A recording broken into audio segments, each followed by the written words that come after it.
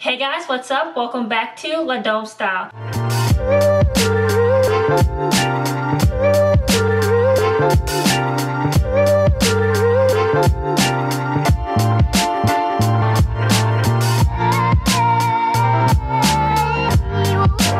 Today we're going to be talking about modeling schools. A lot of people have questions about modeling schools. How much do they cost? Where are they located? Do you get paid? What to expect when you start the modeling school? How long is the term? How long is the course? Oh, and we can't forget are they a scam? Are they legit? That's usually the number one question when it comes to modeling schools. Do you really need a modeling school to become a model? So let's get into it by stating what is a modeling school? A modeling school is not a modeling agency. A modeling agency, your agent is going to be booking you jobs and networking with clients. That is what they are focused on. A modeling school is focused on anyone getting accepted and enhancing their talent. What I mean by enhancing their talent is if you're into singing, acting, dancing, modeling. They're going to take you as a whole and they're going to make you better at posing, at runway walking, at theater acting, at reading monologues, at singing, um, enhancing your voice, dancing, how to be more limber, how to move better. That is what a modeling school does. They enhance your talent and your confidence. They make you feel good about yourself.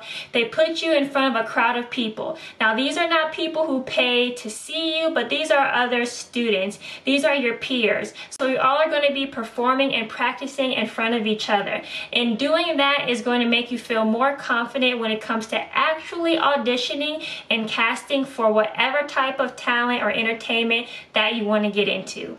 A few modeling schools that you may or may not be aware of are Barbizon, John Casablancas, the Schuyler Modeling School, as well as the Bella Modeling School. Now, the Bella Modeling School is actually in Dallas, and the Schuyler Modeling School is in New York City. Modeling schools have been established for many, many years. They are not schools that just popped up in the 90s. So, Bella Modeling School has been around since about 1939 or sometime in the early 40s. And John Casablancas I know has been up since like 80s and John actually was an agent for elite models I do believe before he and another partner started John Casablancas modeling school. As far as Barbizon, I know that in the beginning, they used to give out $10,000 scholarships to students. I don't know how many students it was, but they used to give out $10,000 scholarships to students to go to school. So modeling schools were a little different back then. Now things have changed just because management has been changed and marketing has been changed and development in the industry has changed. So now instead of focusing on actually getting the model sign, modeling schools focus on enhancing your talent and skills like I stated before. So what does a modeling school offer? Well, they have workshops. The modeling schools offer personal development curriculums such as essential interviewing skills, voice skills, poise and posture, nutrition and exercise, building your resume, etiquette, self-confidence, and development. Modeling schools are going to teach you about industry expectations. A lot of you all have questions such as, how do you go from the development board to the main board at a modeling agency?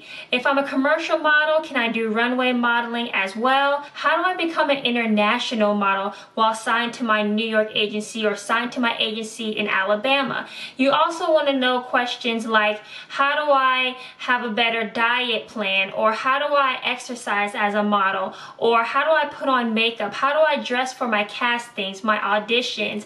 If I am modeling commercial, how do I prepare for an audition? How do I read a monologue? Or if you're doing runway, how do I become an editorial model? There are so many questions that everyone wants to know when they're becoming a model. And that's what a modeling school is going to do. They're going to teach you that during your workshops. Now, when you go to a workshop, you're going to be in groups. So don't worry, you're not going to be by yourself. And being in groups is really helpful because it does help boost your confidence because you network and you make friends with other people. And when you make friends with other people, in your group, you become more relaxed and reading a monologue or doing a runway is just so much fun or so much greater. You can make little side comments or jokes or you all can just pass around modeling tips or what helps you as far as your runway walk or how to pose. Doing things one-on-one -on -one with an agent can be a little intimidating, especially if you don't know anything about the industry. So being alongside your peers always makes the time a lot better, runs smoother, and like I said, you make friends and you joke and you just have a really good time. During your workshop, you're also going to be learning about the different types of modeling because as you all know, there's not just one type of modeling, right? Not everyone can be an editorial model. Not everyone is 5'9 with long limbs and everything else that an editorial model has. A lot of people are of average height. That's commercial modeling. Then there's promotional modeling. There's lingerie modeling. There's swimwear, which is so popular in Miami. There's so many different types of modeling. There's fitness modeling, there's parts modeling where you're just showing your hands, your feet, or your hair. Think of something like um, hair product commercials when the models just have really gorgeous hair. It's not really about their body from head to toe, it's about their hair. Or nail polish commercials that just show a woman's nails. Or maybe think of DSW, their advertisement, when they only show their feet or the shoes. There's so many different types of modeling that's pretty much for everyone. The modeling schools are really going to go in depth and they're going to teach you about that and they're really going to tell you like what type of modeling is best for you. So to get into the industry, you want to be the model that you best represent. And then once you get your foot into the industry and you get that engagement from brands and from consumers and you become popular on social media or in the industry because of your talent, then you can switch to another type of modeling. I know it sounds crazy, but sometimes people just have to know you and know your name. Where are modeling schools located? They're not only located in large markets like New York and LA and Miami, but Atlanta, Alabama, Ohio, pretty much every state has modeling schools. I know Barbizon, if you are interested in them, they're located in all 50 states. And not only are they located within the state, but they have a lot of schools within cities within the state as well. So in order to start taking classes at modeling schools, you can either get scouted, which a lot of people do. And the number one way they do that is they usually come up to people at malls. They don't really go to too many events like modeling agencies do. And they'll either come up to you or they'll they'll have a table set up and it'll say Barbizon Modeling or John Casablancas or whatever the modeling school is called.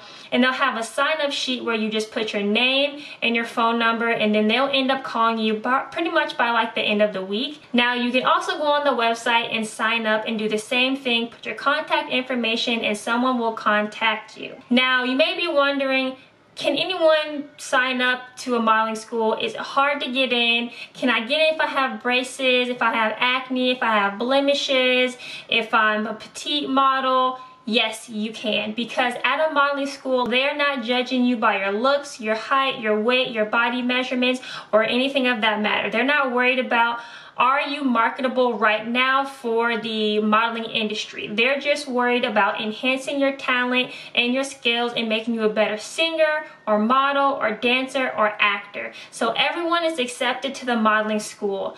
What they want to know when they talk to you on the phone is how bad do you want to become a model? Because that also leads to are you financially able to pay to become a model, to model at this school, to take courses, to better yourself, to learn casting, audition tips, and so much more. So be prepared for the financial talk that they're going to be asking you about when you talk to them over the phone. To get a ballpark figure of the price of modeling schools, it is $2,808. Know that the course length is typically about six months.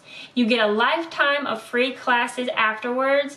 That means that once you graduate from the modeling school, you can come back at any time, at any age, and you can take acting classes, you can take runway classes, you can take singing classes.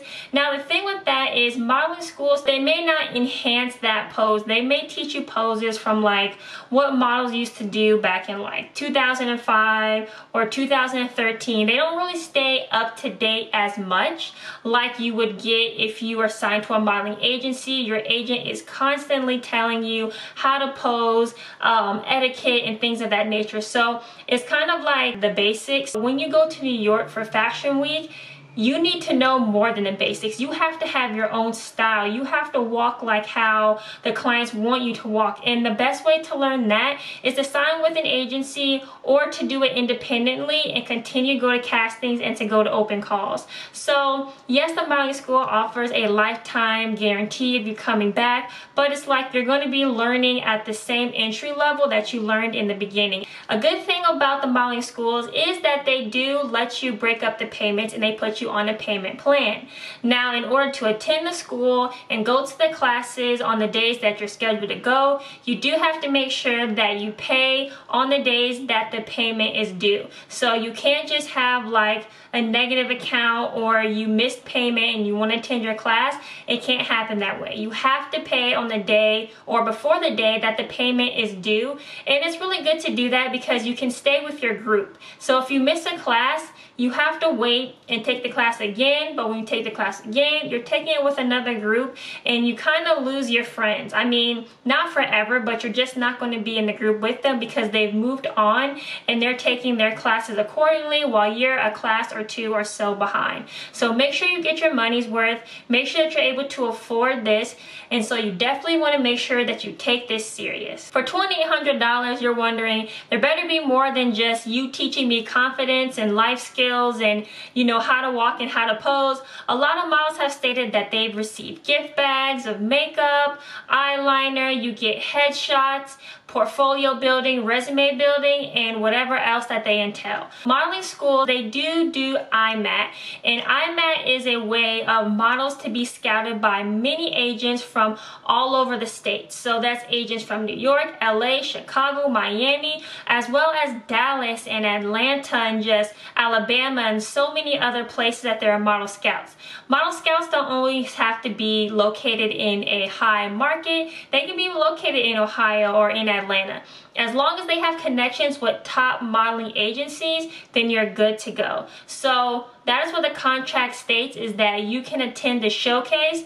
The only thing about that is that you have to pay. A lot of models have stated that they had to pay an extra $100 or so to showcase their talent. So just know that you paying the $2,800 isn't going to be it. You also have to pay to go to the showcase as well. You're always paying out of pocket. So really think about going to a modeling school. Is it something that you really want to do? Now that you have successfully signed up to the modeling school, what happens next? You're going to get a phone call from an agent and they're going to schedule a Zoom call or you can do an in-person meeting. So as far as a Zoom call, you're going to get on the call. There are going to be other people on the Zoom call. Yes, there are going to be other people who are excited about becoming a model. You're going to have your mics muted so no one's going to be talking. There's no distraction. And you're going to watch a little intro video. You're going to watch an intro video together of testimonials in Barbizon or John Casablancas or Skylar, whatever modeling school it is, you're going to watch the testimonies from the former models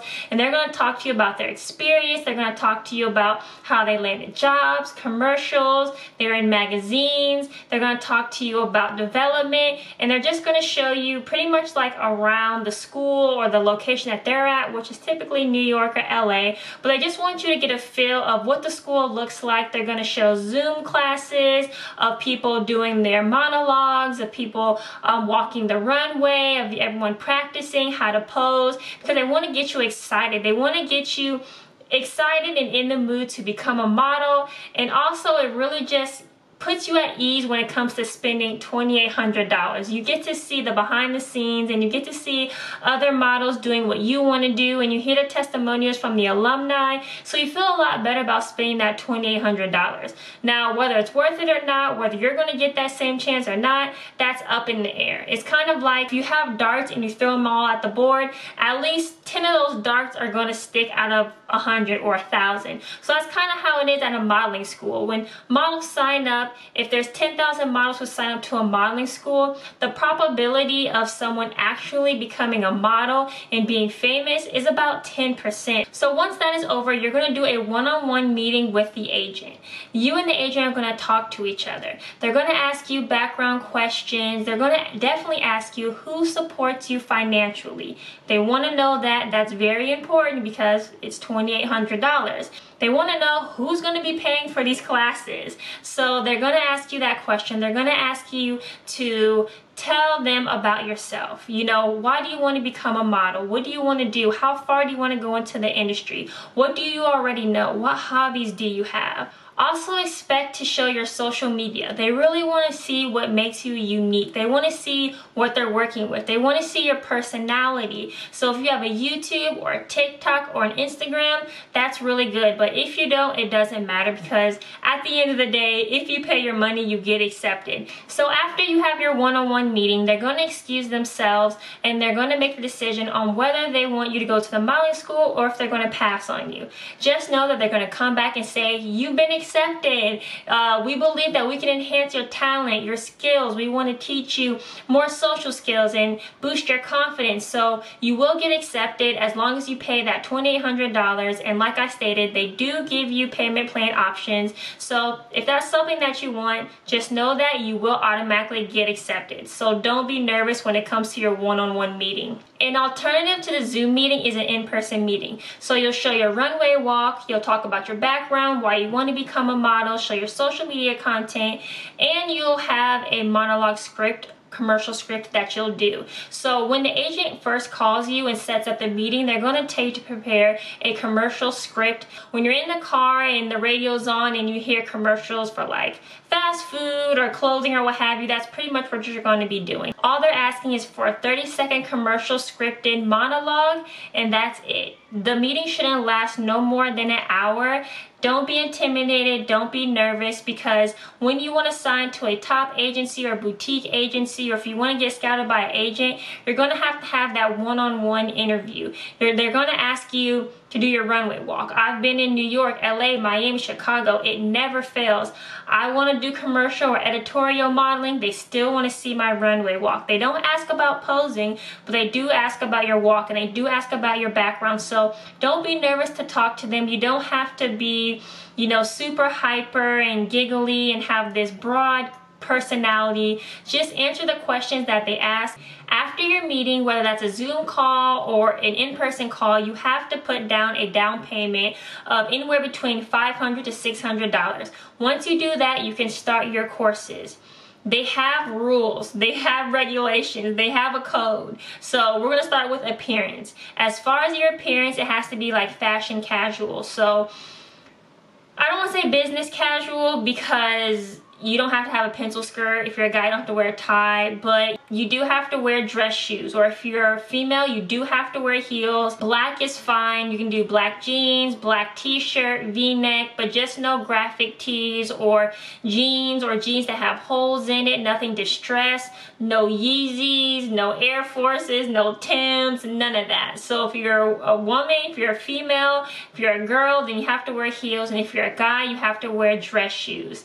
Now, as far as hair, some modeling schools recommend that you wear your hair in its natural state. Now, that's not crazy, but just know that fashion is just so much broader than it used to be in the 80s and the 70s and so forth. Like, we have box braids, we have cornrows, we have different color hair. There's models with blonde hair, bleached eyebrows, no eyebrows, and things of that nature. And I know they are just enhancing your talent.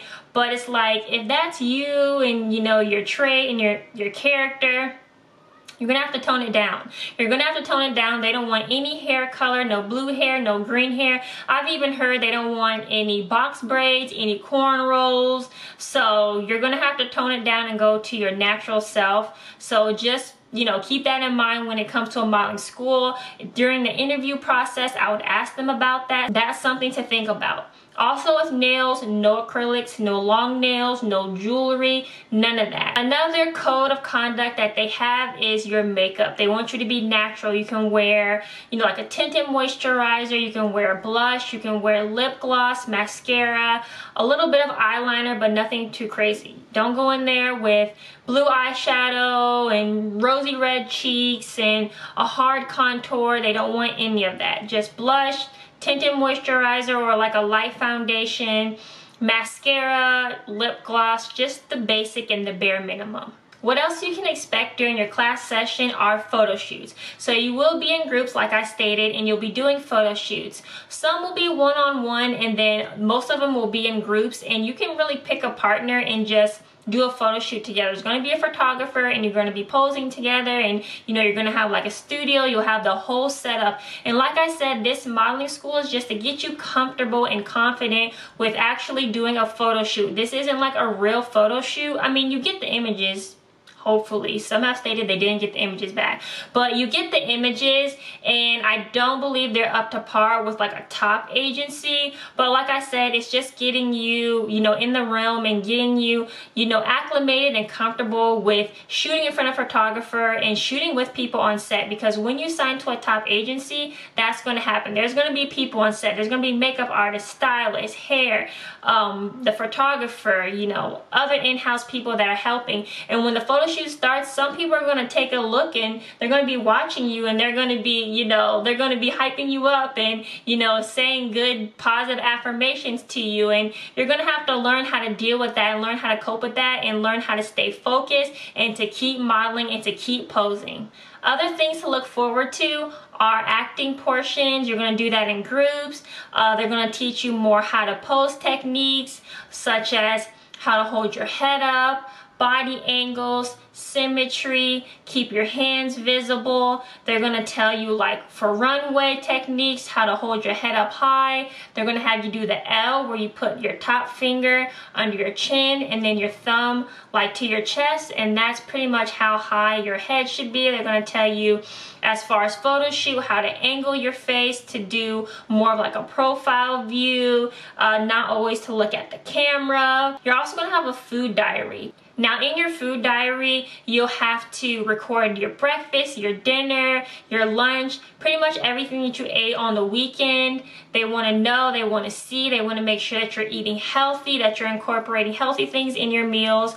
Of course, of course, you know, you can make up stuff that you had vegetables when you didn't, but please don't do that because honestly, this is really helpful. If you are someone who does have bad eating habits, writing it down and really seeing what you're truly eating may be able to help you eat better. And when you're in the modeling industry, you have to eat a lot healthier. You see on YouTube, you see on TV or on TikTok models eating healthier because healthy foods, whole foods have nutrients in it, have vitamins in it, and that's what helps make your skin clear, make your skin glow, give you bowel movements, and you know, really helps with like height and growth and especially if you're someone who's still growing like guys they grow up until like 18 and girls they keep growing to 23 and it's like if you're still in your development stages eating healthy really does help with everything overall your hair your health your nails your mood so just assure that you are writing everything down in your food diary